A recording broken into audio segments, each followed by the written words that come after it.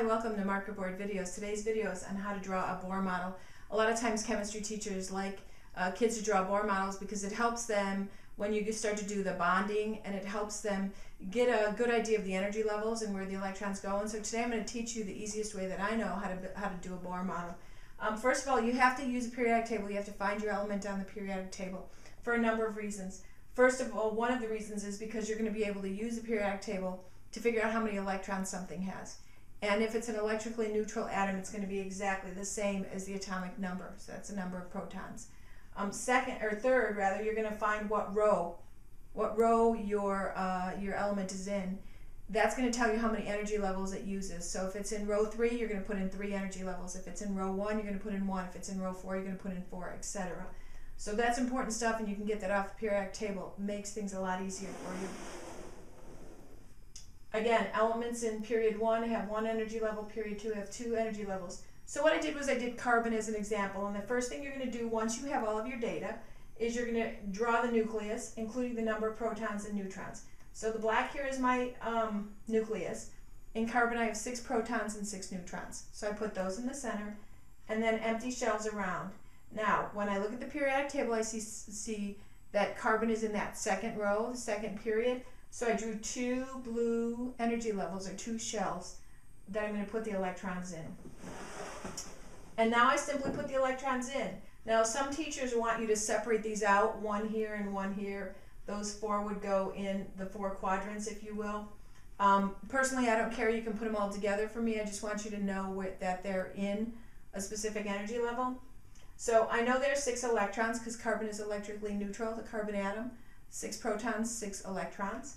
Um, I know that uh, the first shell can only hold two, and the second shell can hold up to eight. Now, I've already put two in here of my six, which means I have four left. If I have four left, those four go in here, and I'm done. The third shell, I just want you to know, can hold up to 18, but not, it doesn't always hold 18, and I'll, I'll give you an example of that in just a minute. But the third shell can hold up to 18. Let's do another example. Let's do uh, hydrogen. Um, one proton, no neutrons, one electron. There's my nucleus, one proton, one uh, and zero neutrons. Since it's in row one, I put one circle around it.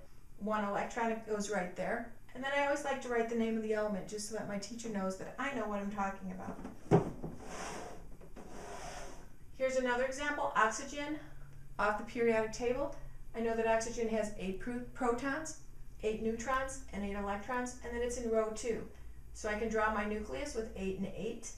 And I'm going to put two little circles around it for my shells or my energy levels because I know it's in row two. The first one, the one closest in, can only hold two electrons. Eight minus two is six, so I have six left to place somewhere. And they're going to go in the next energy level, six electrons in the, the next energy level. So I have two plus six equals eight. It's oxygen, I'm good.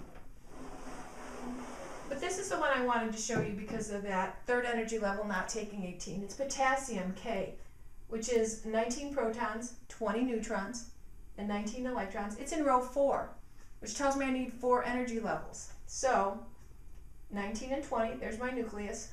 One, two, three, four energy levels.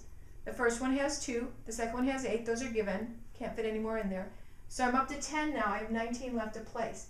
But it's four energy levels. So what I know is a lot of times this third energy level is going to only take 8 electrons. It's not going to go all the way up to 18 yet. It takes 8 and the outer level takes 1, has 1. Okay, so the way you know that is you're in row 4, so you have 4, 2, 8, 18, but the magic number in chemistry, remember, is 8. And so it's going to take the 8 and bump, bump the 1 up to there. And again, I wrote the name of the element, it's potassium. Best way to do more Bohr models, just practice, practice, practice. You'll get really good at. They're not very difficult.